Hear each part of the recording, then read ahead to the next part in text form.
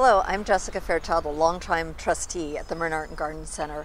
I'm also an architect and planner who has been working on this special property. Well, we have all been away from the places that we love this last year. We at the Art and Garden Center have been making improvements to these grounds. Improvements that will enhance your experience as a visitor to the center, and improvements that have been made possible by your generosity. At the heart of these improvements is a new entry point. We are returning to the historic entry of the property that was the carriage road for the former estate. This entry is the perfect welcoming vista to the great lawn, the historic buildings, and the many gardens and trees beyond.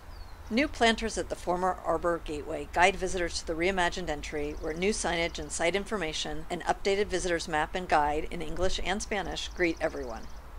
Visitors entering on Sir Francis Drake are welcomed with a new sign and brand new garden of lush but water-wise plants from California and Australia.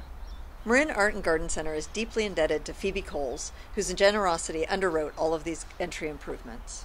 Whether you come to the Marin Art and Garden Center to be inspired, educated, or entertained, sometimes you need a comfortable place to sit and reflect. Our master builder, Ken Cottrell, has rebuilt the curved bench at the pond, the perfect place to enjoy the sounds of the fountain while surrounded by constant activity in the pollinator garden.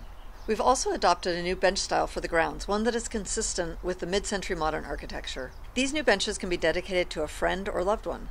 For more than 75 years, the Marin Art and Garden Center has been a place to celebrate being in nature. The importance of outdoor spaces has never been more apparent. Generous donor support is helping us refurbish our Redwood Amphitheater, which will soon find many uses as an intimate space for socially distanced outdoor events. We've missed you this past year.